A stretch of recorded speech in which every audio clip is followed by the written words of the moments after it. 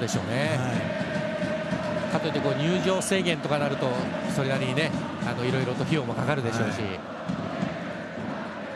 長いボール古橋！古橋が受けた！中へこぼれているところ押し込んだ同点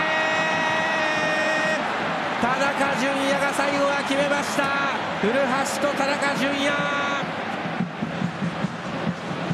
すごいパスじゃないですか今の体格のパスは。このパスが。はい。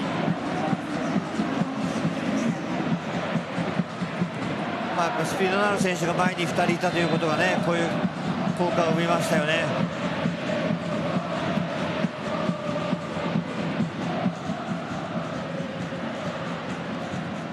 これでガンバはホームは3試合連続3失点。